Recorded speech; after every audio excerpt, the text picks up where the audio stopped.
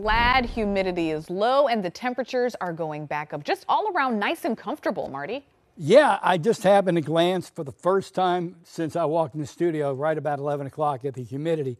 41% this time yesterday. Go ahead and take a look. 44%. If you like yesterday, cut and paste the way it felt when you walked out the door on today. And there you have the first alert forecast. Go ahead and take a look. 81 degrees right now, 44% humidity, barometers at 3006. Visibility 10 miles. As the bird saying, I can see for miles. And we have a gentle east southeast breeze at 5. That's, that, that accounts for a little uptick in humidity, to be quite honest about it. Let's go ahead and show you some, uh, show you some radar. There's just, just nothing out there but inversion. That is just ground clutter, if you want to really look at it that way. Big high pressure.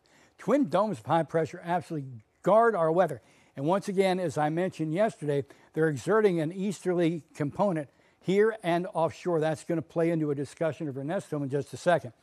Also, I know we've got an east southeast breeze trying to push some of these clouds and moisture our way, but in the bigger picture, you've got these highs with that enormous clockwise rotation suppressing this moisture well down to our south. And that's where it's going to stay as we move through the day for the most part. Let's go ahead and talk about temperatures around your in your neighborhood on your corner.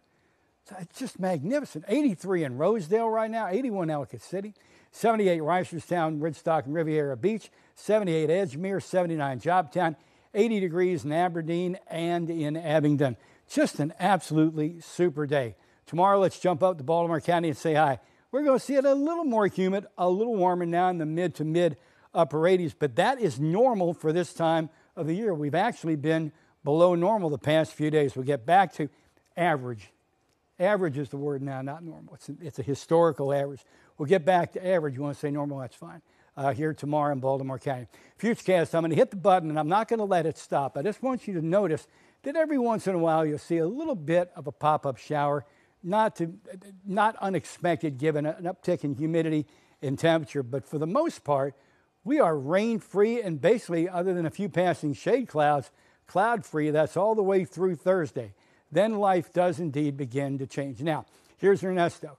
Uh, by Thursday morning, you know, situated to stay out in the middle of the ocean, and now making that, that big turn due to Coriolis force and its own and its own force a little bit further on off to the east before making a northerly turn headed up to the Canadian Maritimes.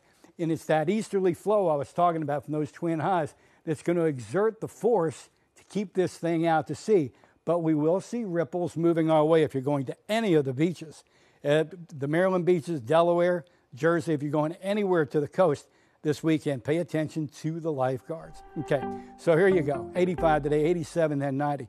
There's that uptick in a little bit of humidity, a little bit of temperature, but nothing, as I showed you on that heat index graphic, nothing real oppressive. Then Friday late, here comes some showers, 86.